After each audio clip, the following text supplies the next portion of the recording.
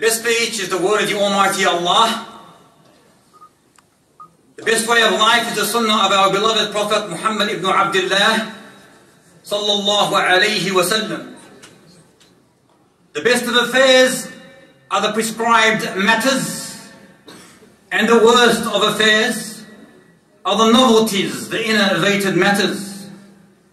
The best of knowledge is that which benefits.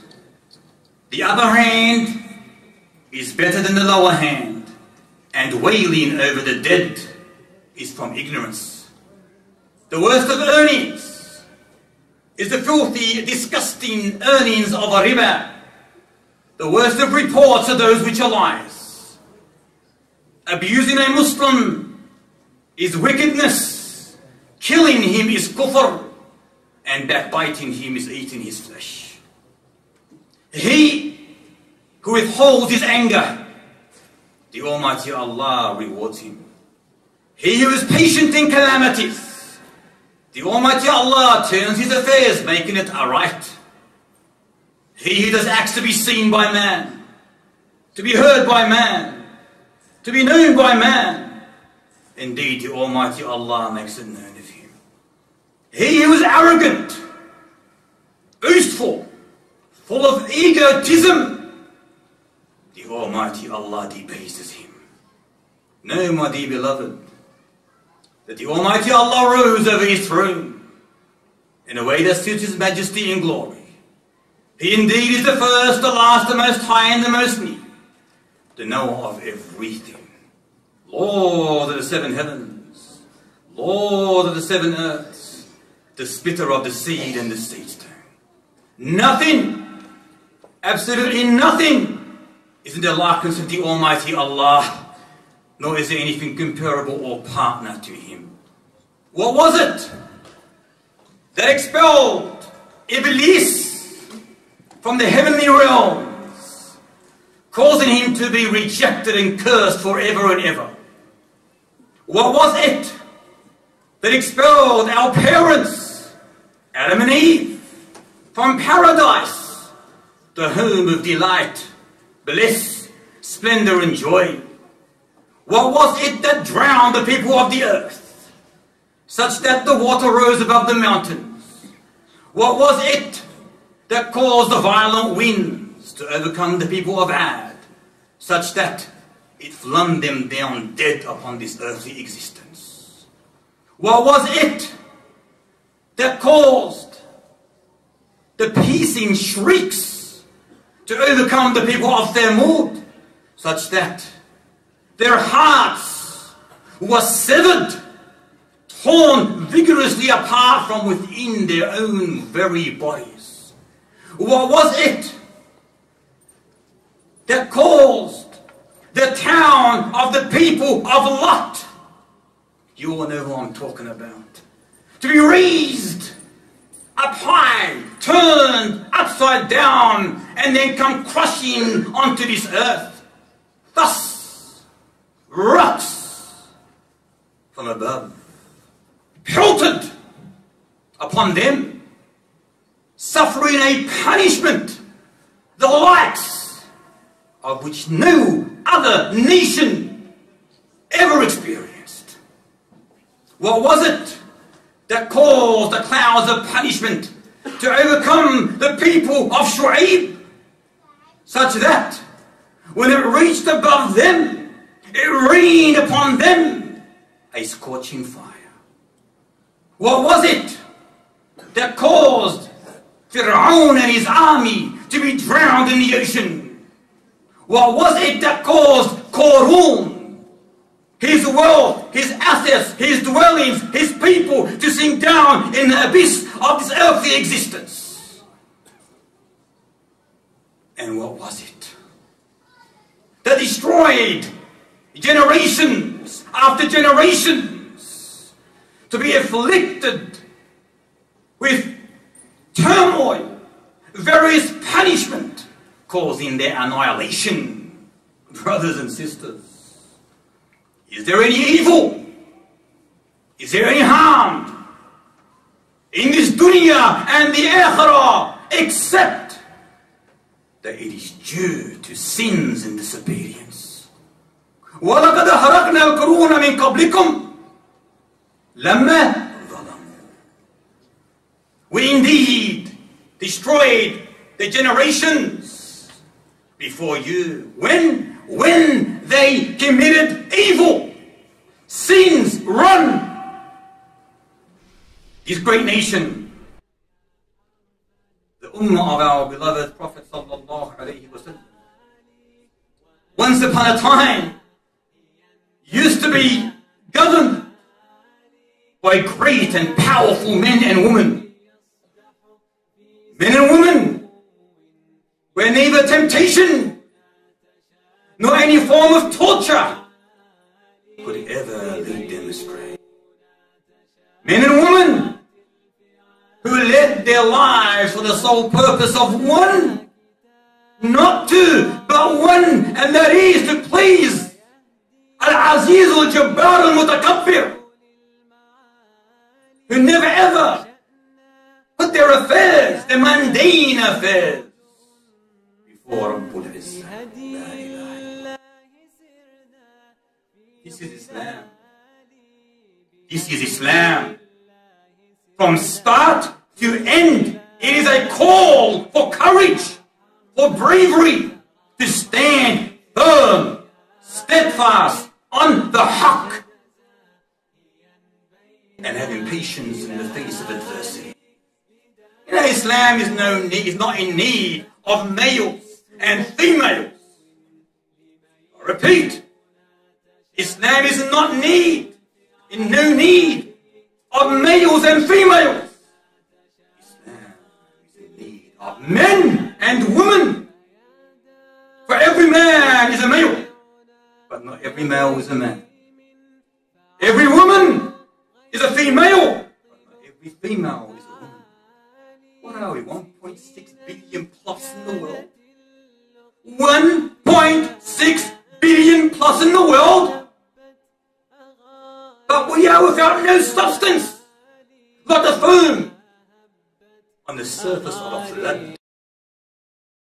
As our beloved teacher sallallahu alayhi wasallam told us in a hadith collected by Muhammad ibn Ismail al-Bukhari that real men, listen to this beautiful narration, real men are as rare as a reliable, strong camel that can endure the long trips of the desert. Listen to this. You will find one in every hundred. One in every hundred. You know, a brother comes to me and says to me, Feiz! I go, yes, ya habibi, ya. Because I'm a real man. I go, "Tabarakallah, I can see your chest, man. A real man. Because, yeah, I've got such a big chest that no shirt can fit me. Yeah, tabarakallah, I can see that. And sisters, real men and women are not measured by their muscles, their physical strength. They're not judged by their outward beauty. No. Look at Abdullah ibn Mas'ud. Correct, Sheikh? Abdullah ibn Mas'ud. Radiallahu anhu. He had extremely thin legs, so much that the companions were laughing at their thinness. So Rasulullah comes past and looks at him, What are you laughing at? Listen to his response. He goes, Indeed, Abdullah's legs will be heavier on the day of resurrection on the scales than Mount Uhud. This is manhood. This is real man. Not the chest and the biceps and the thighs. No. That's fake. Umar al-Faruq Abu Hafs. Just upon his name being mentioned, he will cause earthquakes before the feet of the pagans. They will break, buckle, and shake. As soon as he embraced Islam, real manhood immediately manifested in his life. It wasn't due to his size of body or his looks, no. but the strength of Iman and Taqwa, of standing firm on the truth and not wavering. An excellent quality that won him honor, respect, but most of all what? Most of all what? A palace in eternal gardens of bliss and happiness. Today, many of us, sadly to say, many, they bend down. They bend to the smallest precious of the adversaries of Islam. A bit of a calamity, a bit of a negative wind, and they distance themselves to the point where many even change their names, their identities, even secularizing their families. What kind of Islam is this? What kind of belief is this? Wallahi, the true believers, those with foresight, determination, courage, Islam, they are not deterred by the floods of insults, by the false propaganda that they are sure to face. وَلَا يَخَافُونَ لَوْمَةَ لَائِمٍ They fear not the blame of the blamers, the plot of the plotters, nor the threat of the bullies. This is true Islam. True Islam. Yes, I agree, as we all do, that today this ummah is stifled with numerous crises. For indeed, the horns of the devil are raised in every corner of the globe. In a world where the winds of evil amongst mankind are blowing immensely, in an atmosphere filled with hatred and enmity, with greed, competition, jealousy and envy, with wars, instability and turmoil, with tribulations and trials and confusion, where the good is looked at as bad and the bad is looked at as good. But guess what? All this has been prophesied. It's quite normal. It's to be expected, and even worse. Why? Why, Ya Muhammad Khadr? Because we're at the end of days. Do we not know that narration that mentions to us when he informed us about this ummah? He said, جُعِلَ عافيتها في أولها وسيصيب آخرها بلاء وأمور تنكرونها تنكرونها That the start of this nation of Islam was the era of prosperity, of blessing, of honor, of glory. But the end of this ummah, the latter part, will be afflicted with calamities, tribulations, trials that you will never accept, nor will you understand. And he said, وَتُجِيءُ الْفِتْنَةُ وَتُجِيءُ الْفِتْنَةُ فَيُرَقِّقُ بَعْضُهَا بَعْضًا And fitna will come. We are in these days. It is in our days. And fitna will come. And each fitna that does come will make that which is previous insignificant, nothing, trivial, futile. But why do we see all these calamities? Why in our life do we get attacked by disasters and problems and afflictions? Why? It comes with a purpose, a divine wisdom. Many of us claim to be strong believers. Many of us believe that we are in ultimate trust, reliance, confidence in Allah's victory. But, but, you can claim Islam as much as you want. You can say you're a strong believer. My iman is like a mountain. But, the test, the real test, is when things go wrong. When a calamity befalls you, this is when you're tested. Not when you're relaxed. on your couch potato with the remote in your hand and saying, I'm a strong believer. No. When the real test befalls you, a calamity, a disaster, no matter what it may be, this is where the truthful from the liar is distinguished. This is where the strong from the weak is known. وبشر الصابرين الذين إذا أصابتهم مصيبة قالوا إنا لله وإنا إليه راجعون Give glad tidings to the patient. Those, when a calamity befalls them, this is the test. This is the test. They say, Indeed, we belong to Allah, and to Him we shall return.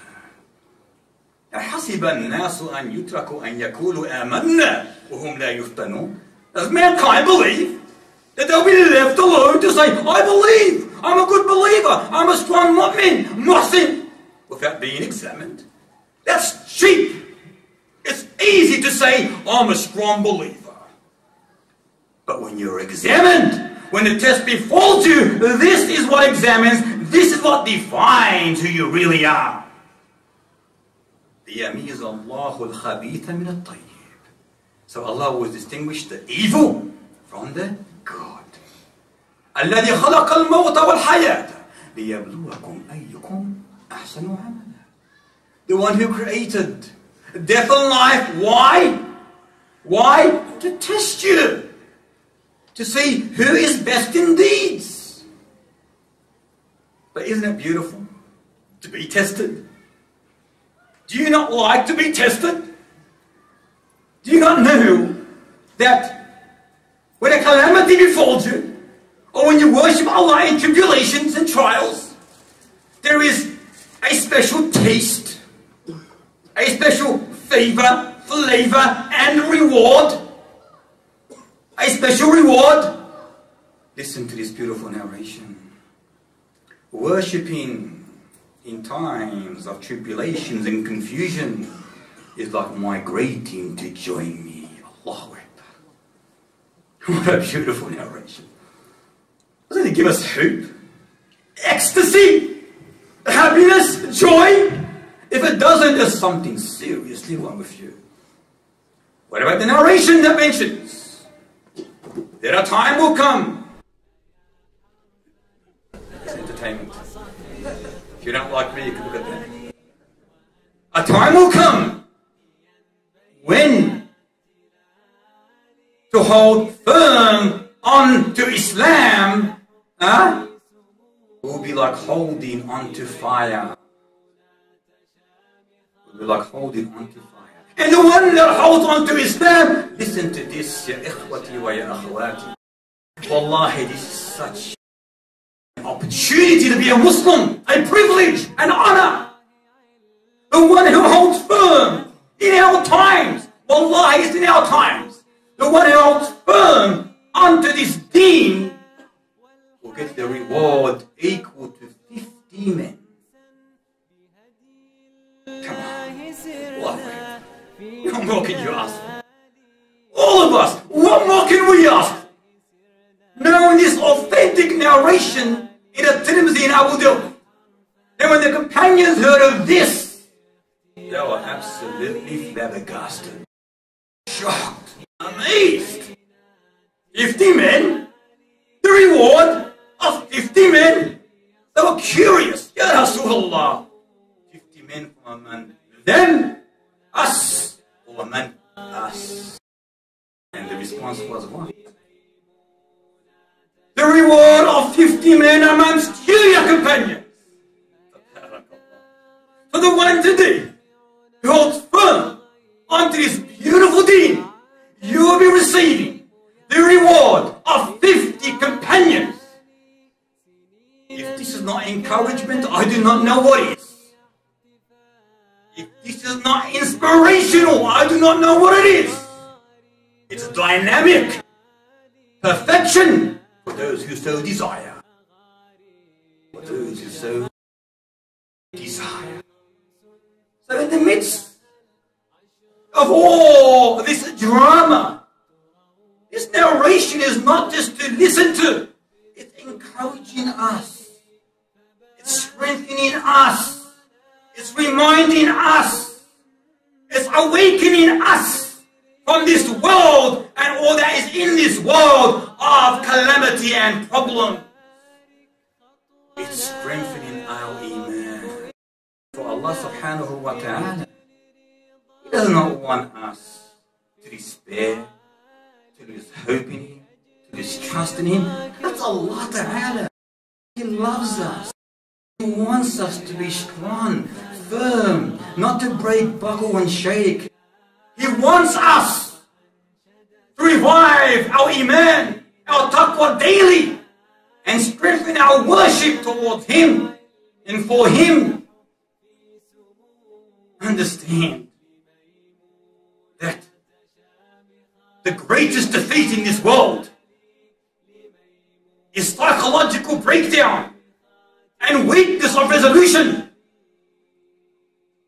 This is exactly what Allah warned against. ولا تهنوا ولا تحزنوا وأنتم الأعلون إن كنتم مؤمنين. Do not despair. Do not grieve. Do not be sad. And you will be victorious. You will be triumphant you will be superior if indeed the condition you are true believers. Allah Akbar.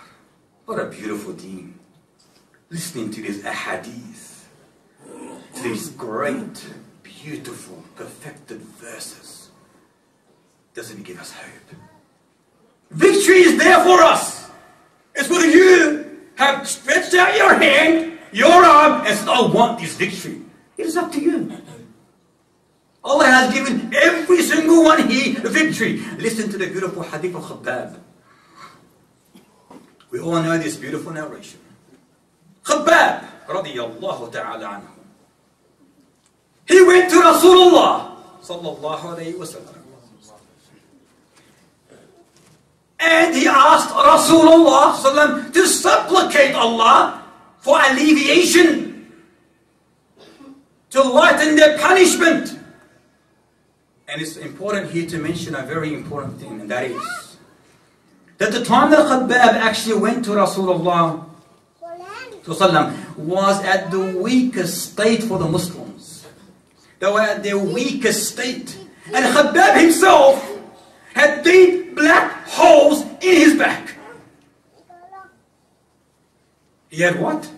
Deep black holes in his back. The pagans, they would burn rocks over the fire for a long period of time. And when the rocks became extremely hot, they threw Khabbab with his naked back onto these rocks. Such that his flesh will start burning. And he himself said that I smelt my fat burning on these rocks, which left these deep black holes in his back. So subhanAllah, he went and requested from his teacher sallallahu wasallam to supplicate his Lord to alleviate the burden, the suffering. Which of us has this ever happened to him? But what did Rasulullah sallallahu wasallam respond with? Did he say, yes, also do this and that? No. Cultivating, training, teaching Khabbab and the companions and his ummah. He said, amongst the nations that came before you, a believer would be brought forward and placed in a hole that was dug for him. And a sword would be placed on his head. And he will be sawed into two pieces. Blood, flesh, nerves flying everywhere. Yet despite all this punishment, he would never reject the kalima. Who has suffered something like this instead stood firm like this. And then he said, In the name of Allah, listen to this. Listen to it an open ear and an open heart. In the name of Allah, this deen, Islam, will be victorious. Until a traveler goes from Sana'a to Hadramaut, fearing none but Allah. And listen to what he said after that. But you are a people who's in a hurry. In a hurry. It was at their weakest state. They were being punished severely. They were being burnt, scarred, branded, cauterized, flogged and whipped. And they are in a hurry. Which of us are not in a hurry? A little bit of a scent of this or that. What, what should I do here? Sabr, sabr, sabr. Sabr. This is the trust. This is the trust we all need to live with, no matter how difficult things may be. Patience. Allah made patience like a fast horse that never tires, like a strong army that can never be defeated, like a powerful fortress that can never be breached.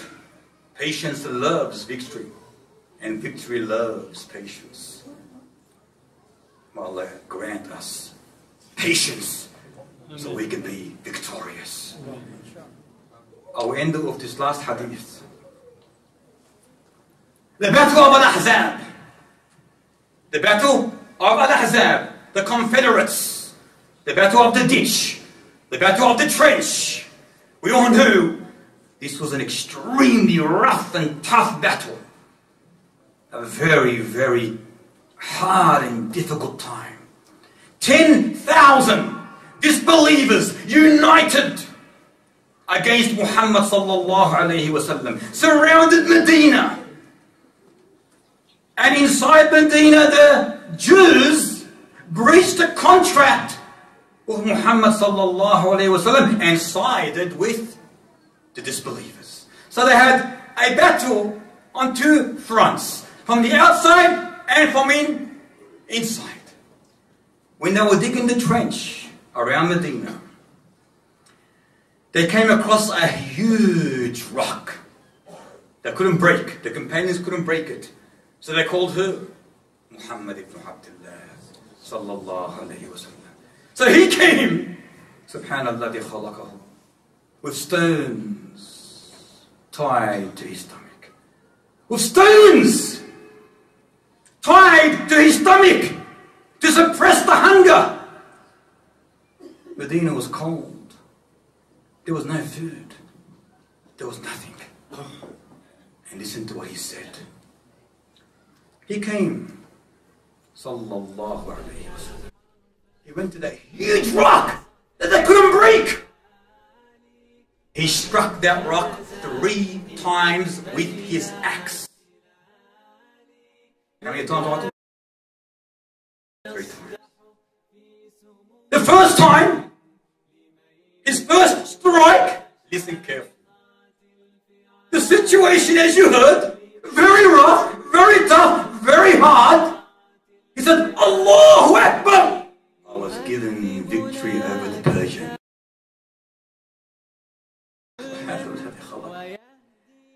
Allahu Akbar, he said, I was given a victory over the Persians. Now the situation is, as you see, in a very difficult situation. And he's saying, this is nothing. I will be given not only victory over this, but over the Persians as well. And we all know the great battle of Al-Qadis. It was led by the lion himself, Sa'd ibn Abi Waqqas. So what a great battle that was. Indeed, this is firm. This is victory. This is haqiqat al-iman and taqwa. In that situation and he's saying to the companions, 10,000 disbelievers surrounding Medina, the Jews on this side, right, left, front, back. I was given victory over the Persians. The second strike, three times, correct? He said, Allahu Akbar. I was given victory over the Romans. The munafiqun here, spoke. The munafiqun amongst the Muslims that. They said, one of us cannot even go and relieve himself. He's talking about victory over the Persians and the Romans. One of us, he said, they said, cannot go and relieve himself due to the situation, the enemy around us. And he's talking about the Persians and the Romans.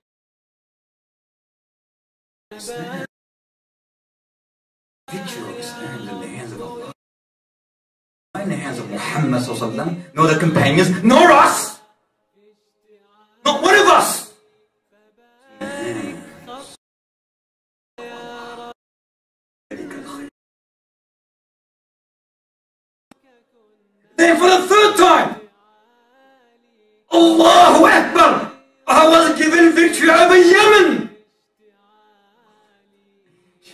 Yet,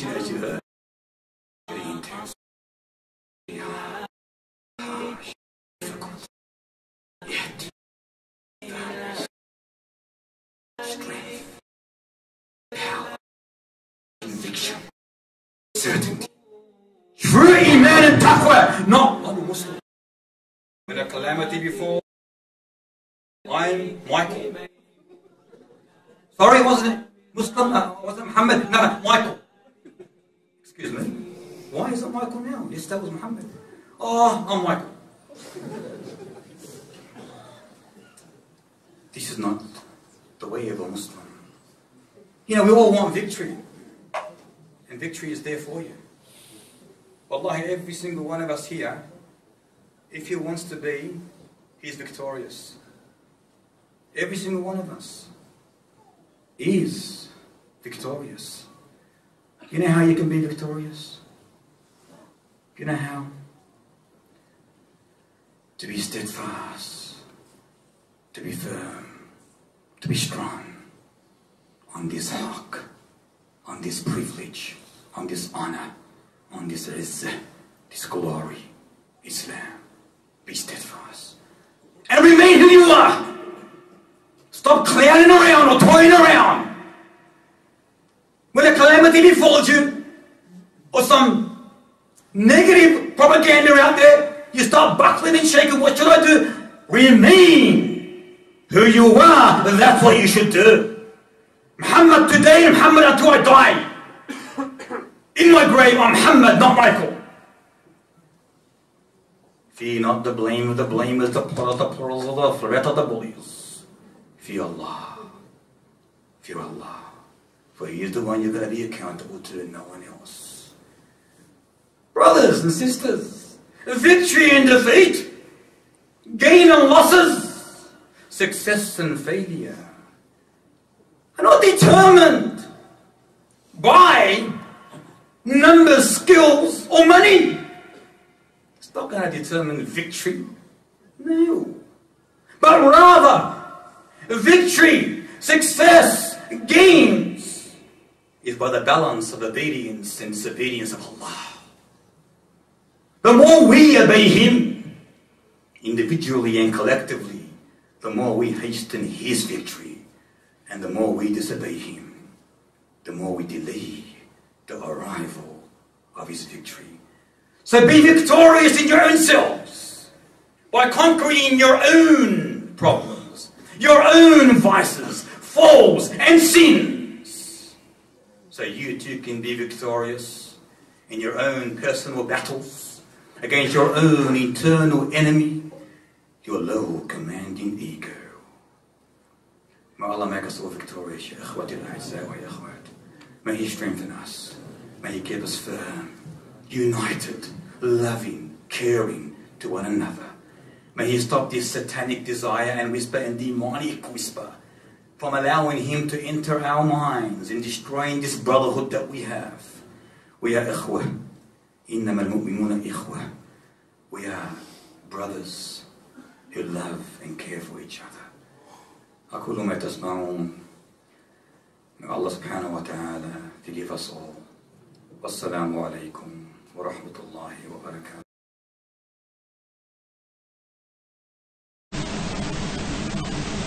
لا بد من السيف ولا بد من الجهاد ولا بد من ولا يرعب الأعداء أعداء المسلمين. لا يرعبهم أبدا إلا إلا إلا إلا القوة إلا السلاح. أما آه، ما دون ذلك أي ما دون السلاح فإنه وإن نفع في بعض الناس وأثر فيهم لكنه في الكفرة المعاندين لا يؤثر ولا ينفع. والجهاد دعامة وركن متين من أركان هذه الشريعة. قام هذا الدين الإسلام هذا الدين الإسلامي قام على هذا الركن وهذا الأساس الذي لا يمكن أن يقوم الدين ولا يمكن أن يثبت قدم الإسلام بدون جهاد مطلق.